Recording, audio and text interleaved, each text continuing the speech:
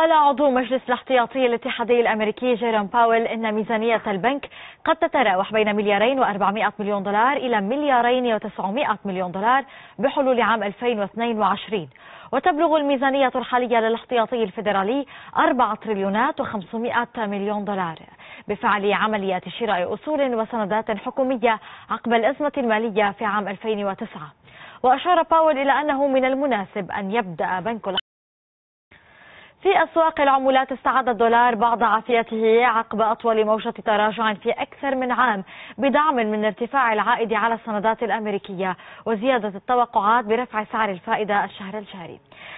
نلقي نظرة على أسعار صرف العملات الرئيسية. بداية نلاحظ اليورو على تراجع بربع النقطة ولكن يبقى فوق 1.12 استرليني 1.2885 الدولار يوان 6.8050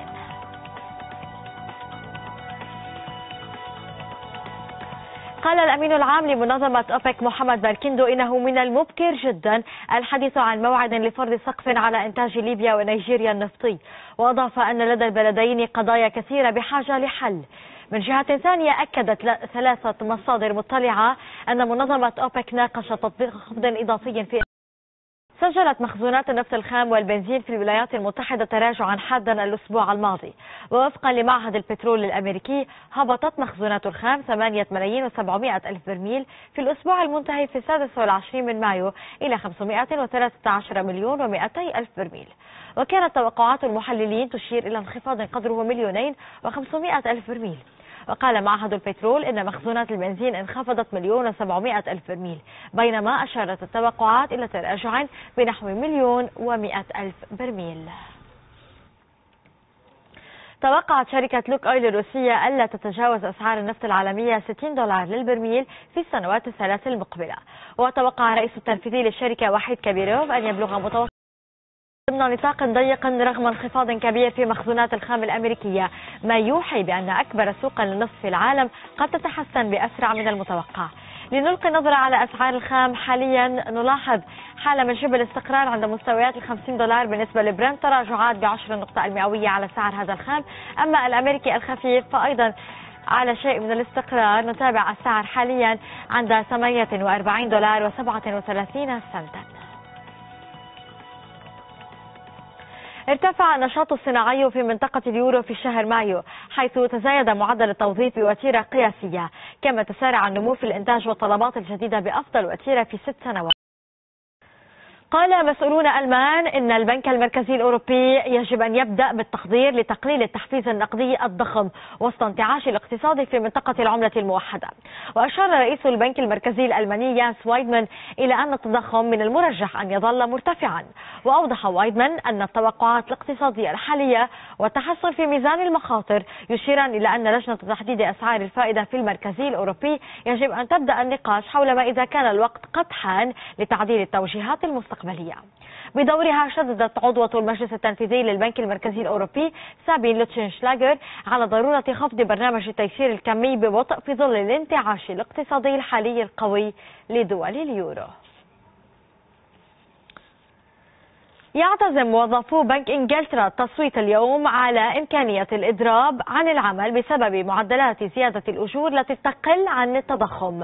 وقال اتحاد الموظفين يونايت إن الموظفين البالغ عددهم 3600 موظف حصلوا على زيادة سنوية للرواتب بنسبة 1% وكانت البيانات الاقتصادية قد أظهرت خلال منتدى سان بيترسبورغ الاقتصادي الدولي بمشاركة نخبة من السياسيين والاقتصاديين من مختلف أنحاء العالم.